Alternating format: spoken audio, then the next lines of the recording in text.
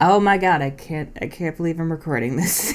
I ooh, as you could tell from the title, my book is out today.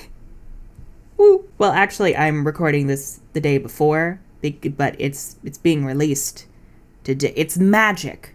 This is magic. I'm so excited, but also terrified right now. I feel very vulnerable. I'm scared. But I figured this would let the majority of the audience know of of the release of my debut urban fantasy novel, De Cineribus from the Ashes. When you're working on a project for this long, you never really.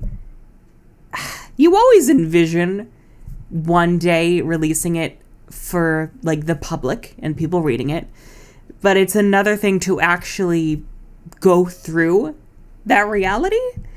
And I Oh god, I'm I'm a mess right now. I'm an anxious mess. If you couldn't tell. So yeah, that there's really there's really nothing more to say. If you would like to pick up a copy, um, you can do so through the description below on Amazon, Barnes and Noble, Kobo, like wherever wherever it is you get your books. It, it will probably be there in ebook, paperback, and hardcover. Hardcover.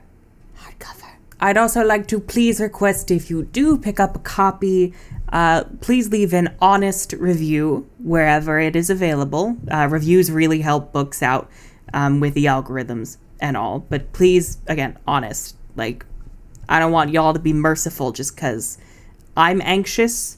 Like, if there are problems with the book, please let me know because how else will I improve? And yeah, I, I guess I guess that's it.